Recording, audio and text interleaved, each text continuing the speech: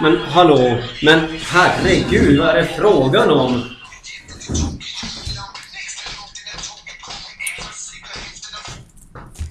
Eh, här är tydligen folk som tror att de bara kan komma och eh, leka mig alltså. Spela limousin med Movit, sitta där med någon töntig mask och så vidare. Men det går ju inte. Ja, det går ju absolut inte. För idag ska vi prata om perception. Och vad är perception för någonting? Jo, perception, det har vi gått igenom på lektionen. Det handlar om att ta emot information, det handlar om att bearbeta informationen och det handlar om att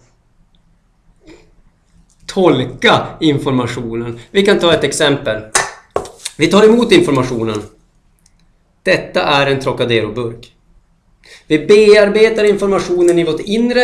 Eh, Trocadero-burken finns här inne och sen tolkar vi den. Är vi törstiga som jag är just nu, då blir man skitsugen.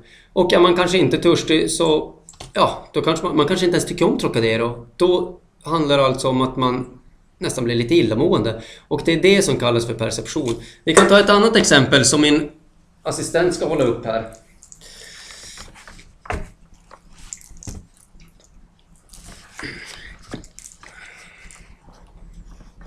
Här har vi ett märke, en symbol. Vissa kanske tycker att hjälp, det där är en livsfarlig björn. Det där vill jag inte veta om överhuvudtaget. Medan andra eh, kanske känner att wow, det här symboliserar Luleå Hockey. Det här symboliserar hjärta. Det här symboliserar smärta. Det här symboliserar, inte slagsmål, men SM-guld 2014!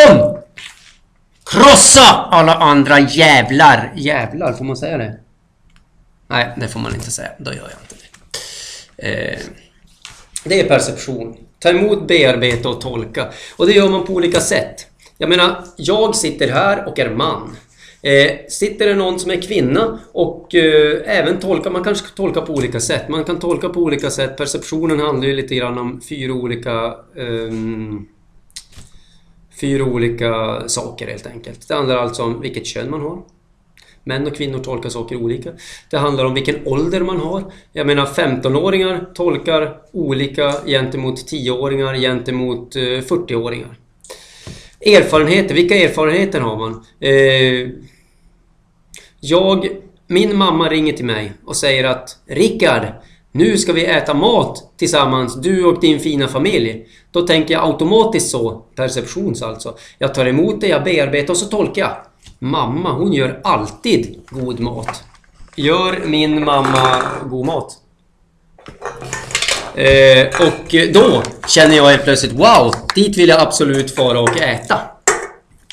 Eh, och så sen var det, det var kön, ålder, erfarenhet och känslotillstånd. Vilket innebär alltså att om man är ledsen tolkar man saker och ting på ett visst sätt. Om man är glad så tolkar man saker och ting på ett annat sätt. Jag menar, har jag varit ledsen och druckit från den här Trocadero-burken då kanske det är så att nästa gång jag ser en Trocadero-burk så blir jag automatiskt ledsen. Nästan lite som stimuli-respons faktiskt. Eh, när man pratar om perceptionen så brukar man prata om yttre och inre faktorer. Inre faktorer, det är sådana saker som till exempel egna behov, känslor, erfarenheter, förväntningar. Det här känner jag på mig ska hända. Yttre faktorer, det är till exempel ljuset. Ser vi här på, på i rummet. Det är ganska ljust. Eh, andra yttre faktorer som um, ja, andra yttre faktorer som spelar roll i ens tolkning, det är till exempel ljud.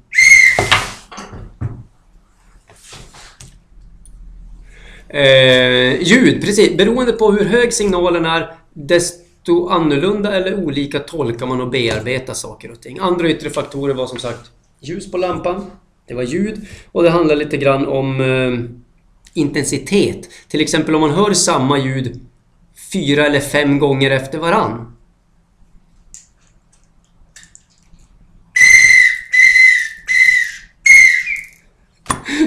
Då kanske man tolkar saker och ting annorlunda också. Eh, signalerna måste dock alltid tolkas, så är det helt enkelt. Jag menar, man kanske blir rädd för att bli rånad. Därför går man inte på musikens makt. Då har man tolkat sina egna signaler över att man tycker det är otryggt ute. Därför går man inte på musikens makt och ser Syster Sol och ser Movits och ser... Vad var det mer? Lilla Nemo, Lilla Namo. Ja, jag vet inte riktigt vad det var. Något sånt i alla fall. Eh, det finns någonting som kallas för... Eh, inom perceptionen så finns det någonting. Vi ska använda tavlan, tror jag. Vi ska använda tavlan. Eh, vänta, jag såg någonting intressant här.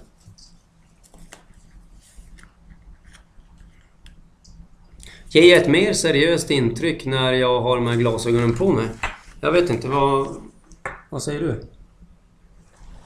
Nej, det gör jag inte. Då tar jag absolut av mig dem. Eh, ja, vi ska prata om olika effekter. Vi ska prata om någonting som kallas för subliminal perception. Och då måste vi ha tavlan till hjälp. Vi, assistenten kanske kan öppna tavlan.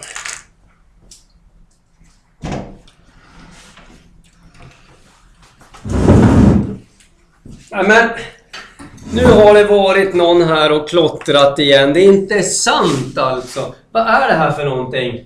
Nej men det är ju en, en liten björn som äter blåbär. Och vad står det här? Mums, mums. Och här står det Rickard är bäst och bästa pappan. Undrar vem som har skrivit det? Undrar vem det är som älskar mig så mycket? Mycket intressant att få veta. Eh, kan jag ta bort det här nu?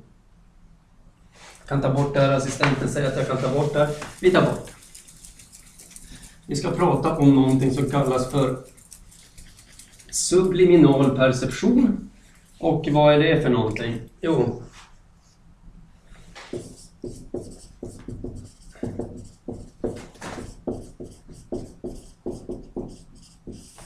Subliminal perception, det ser alla vad det står nu. Eh, som jag sa i två kursen här så är det viktigt att lära sig namn lite mer än vad det var i första kursen. Så därför ska vi ta också namnet på den här mannen som har kommit på detta. Norman F. Dixon. Det han kom på det var alltså att vi uppfattar signaler runt omkring oss. Vissa uppfattar man ju som till exempel visselpipan. Den hör jag väldigt, väldigt tydligt. Va? Men sen finns det sånt som även ligger undermedvetet som man uppfattar fast man egentligen inte vet om det. Han har gjort många olika experiment på det där. Jag menar, filmindustrier och reklammakare är fantastiskt duktiga på det. Titta noga på det här exemplet.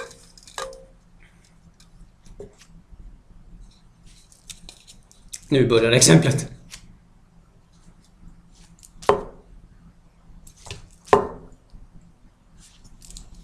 Eh, det ni såg nu, det var bara ett exempel på subliminal perception. Vilket innebär alltså att det här var en kolaburk. Hur många gånger höll, höll jag på med den? Jo, jag höll på med den ett antal gånger. Men mitt i allt så dök det upp en Dr. Pepper-burk. Vilket innebär alltså att helt plötsligt så, så får man en känsla. Va? Jag menar Coca-Cola-burken syns jättetydligt i en film. Men helt plötsligt så svischar den här Dr. Pepper-burken förbi och den sätter sig i det undermedvetna. Så helt plötsligt när vi går ut från biosalongen så blir vi jättesugna på en Dr. Pepper. Istället för en Coca-Cola. Det är subliminal perception. Eh, på samma sätt har han jobbat vidare med att till exempel man visar snabbt ett ansikte. Eh, ett neutralt ansikte som ser ut så här. Och så sen en skylt bakom ansiktet där det står antingen glad eller ledsen. Och personerna som fick se den här skymten utav ansiktet så snabbt så att man knappt hann reagera med skylten glad bakom, de uppfattade att ansiktet var glatt eh, till större del och de som hade ledsen-skylten bakom uppfattade att, eh, att att eh, människan var ledsen på bilden fast man egentligen inte hann se utan det fanns, det är alltså subliminal perception, finns i ens undermedvetna helt enkelt. Eh, alltså är perception ganska intressant för det styr inte bara vilka vi är och vilka behov vi har utan också vilka omedvetna processer som finns i oss. Norman F. Dixon, subliminal perception, lär er detta. Vi har någonting annat också eh, och det är ju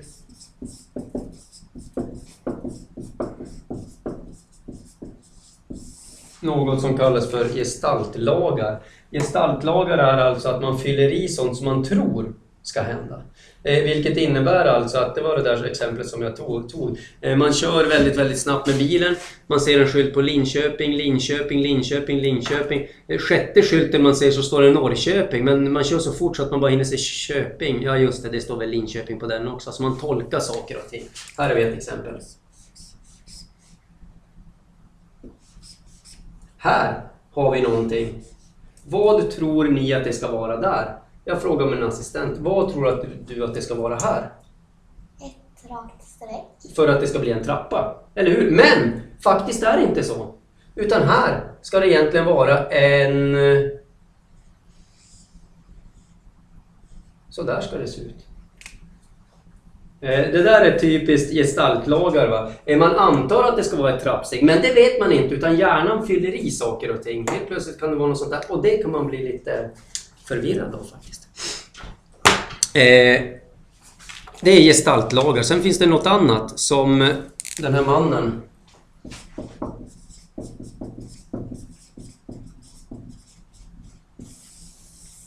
Fritz Perls. Han uppfann någonting som kallas för den tomma stolens terapi, gestaltterapi. Och det innebär, gott folk, att man har en stol här. Va? Och så har man en stol som är mitt emot också. Ni vet mycket väl vad det handlar om. Det handlar alltså om att man... Det handlar om att man ska bearbeta oavslutade konflikter, relationer som är viktiga för en. Jag menar, jag sitter här och bearbetar min eh, pappas död. Och säger, pappa, varför dog du? Jag tycker det är väldigt jobbigt. Jag, jag tror inte riktigt att du älskade mig.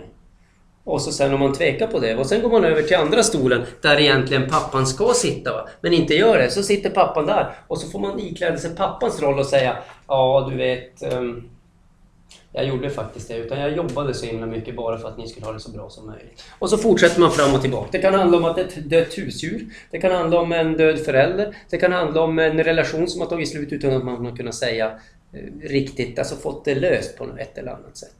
Det är gestaltterapi och det är den här mannen som startade det helt enkelt. Det finns någonting mer, det kommer mer. Vänta bara. Vad kommer det mer? Jo, vi stänger här lite grann.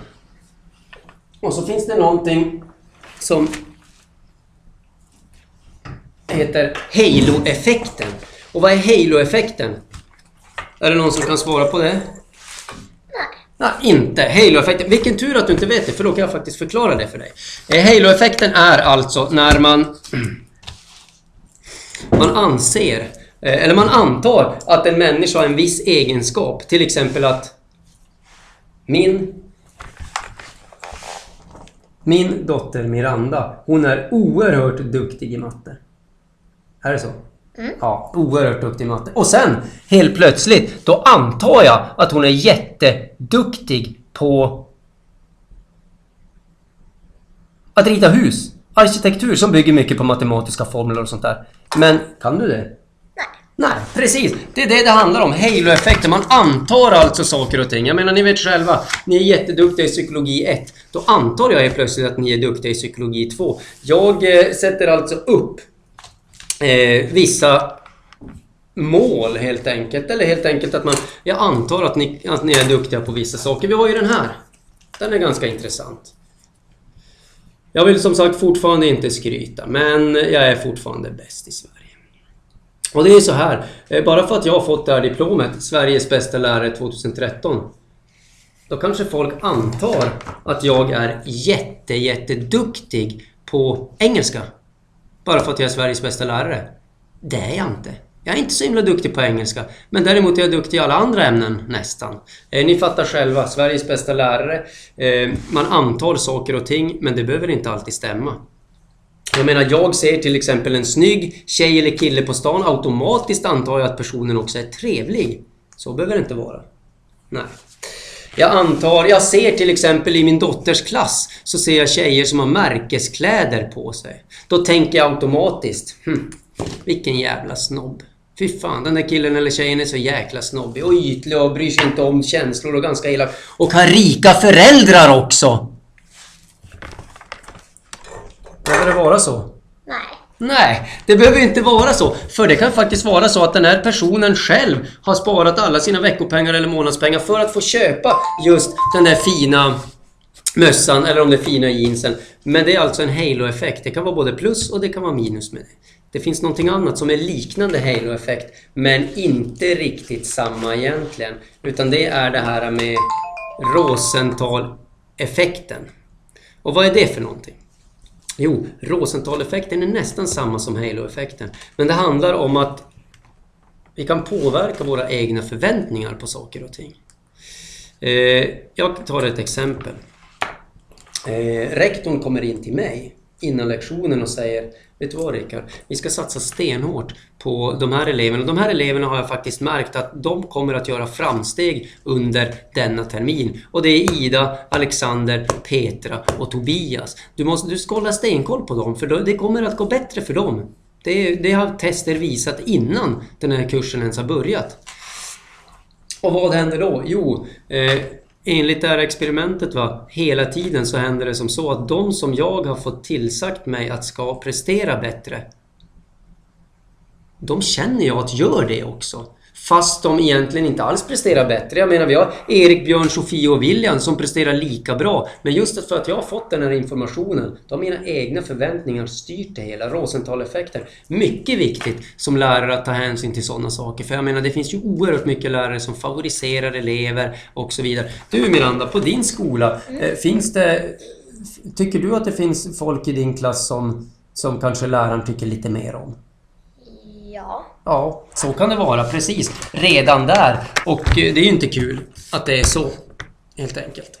Och det, antingen har man fått det genom att man antar saker och ting för att man har varit med om det förut. Jag menar till exempel att Miranda är duktig i svenska för att hon är duktig i matte. Det är halo-effekt. Rosenthal-effekten det är att rektorn till exempel har kommit till deras lärare och sagt att vet du vad, nu ska vi vara extra varsamma på Felicia på Linn och på Nathalie till exempel för att de kommer att prestera bra resultat. Och så antar man det och så ger man dem lite miner, lite blickar, lite tummen upp och sånt där. Och så tror man att de lyckas bättre än vad de egentligen gör. Eh, så är det med det. Jag vet inte om vi ska... Var allt? Ska vi ta något mer? Nej, jag tror att det var ganska bra. Eh, vi nöjer oss med perceptionslektionen. 17 minuter prick, det brukar det alltid ta. Kom ihåg en sak. Kärlek har revolt. valt. Kom.